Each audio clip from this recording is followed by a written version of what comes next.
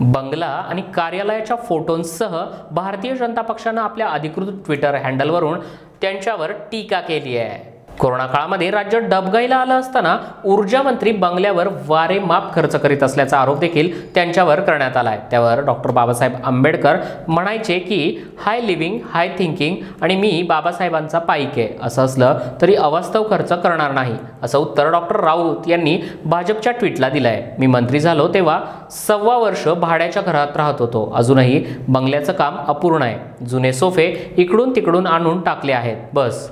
बंगल्याचं काम पूर्ण झाल्यानंतर आपण बोलू शकाल की लॅविश बंगला केलाय. असं असलं तरी मी अवास्तव खर्च करणार नाही. आपण केलेला खर्च योग्य पद्धतीनं आहे की नाही हे पाहत असतो. राज्याचा विरोधी पक्ष म्हणजे केवळ विरोधासाठी विरोध एवढंच आहे. पूर्ण माहिती घेऊन टीका केली पाहिजे. चांगलं राहणं चांगले विचार ठेवणं हे काही वाईट नसतं. खर्च विनाकारण झाला असेल तर कोणाला बोलण्याची जागा आहे अन्यथा नाही आहे काँग्रेस राष्ट्रवादी काँग्रेसची सत्ता असताना चौदा हजार कोटी रुपयांची थकबाकी होती. आता एकोणसाठ हजार कोटींची थकबाकी आहे. भाजपनं कधी वसुली केलीच नाही. शेतकऱ्यांना कमी दरानं वीज दिली जाऊ शकते पण वीज कंपनी खाजगी असती तर कमी दरानं वीज देणं शक्य होतं का?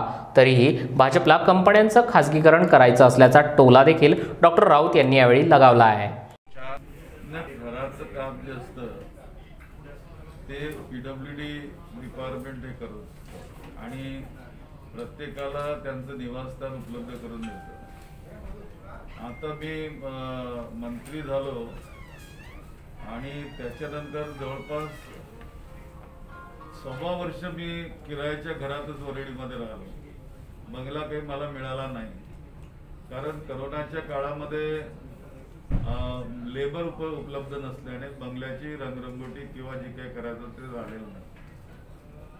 नंतर मी विचारलं की बाबा आता कधी होणार?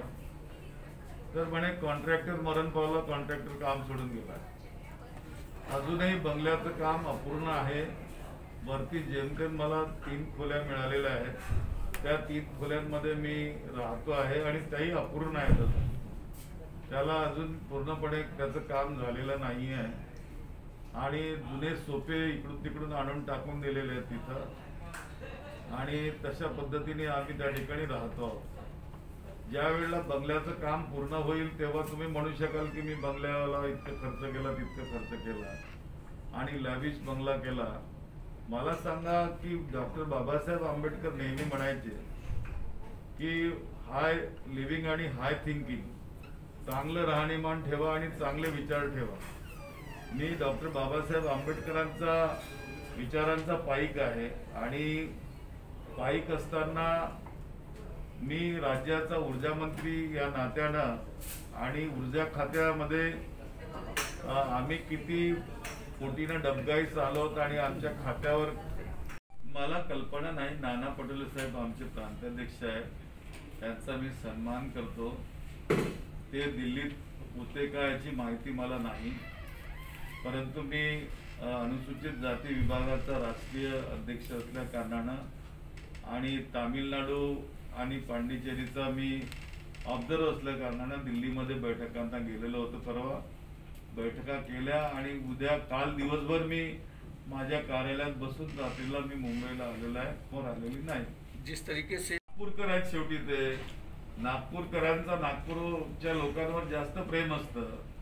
आणि त्यांना वाटतं की त्यांची चौकशी व्हायला पाहिजे की त्यांच्या काळात हे सगळं घडलेलं आहे. तर निश्चितपणे त्यांची चौकशी होईल. आणि सत्य जे असेल ते समोर येईल लोकांसमोर. आणि तो आणण्याचा आमचा प्रयत्न राहणार आहे. त्यांनी तुमच्या विरोधात निर्मल नगर पोलीस स्टेशनमध्ये एक लक्षात घ्या की सव्वीस फेब्रुवारी दोन हजार वीस रोजी माझ्या माझी एन्जिओप्लास्टी झाली आणि मला सहा स्टेन लागले. आणि एकोणीस मार्च दोन हजार वीसला पासून आपल्याकडे टाळेबंदी लागली कोविडची आणि लॉकडाऊन सुरू झालं.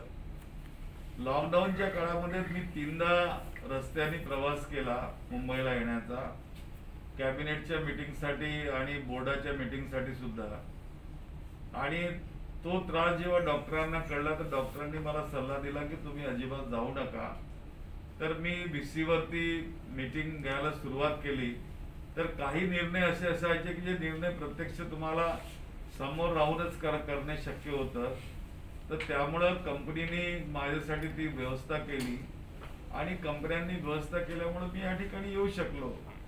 तर हे एक राज्याचं प्रशासन चालवायचं ऊर्जा खात्याचं त्याचसाठी हे करण्यात आलं. आणि त्याचसाठी हे घडलेलं आहे.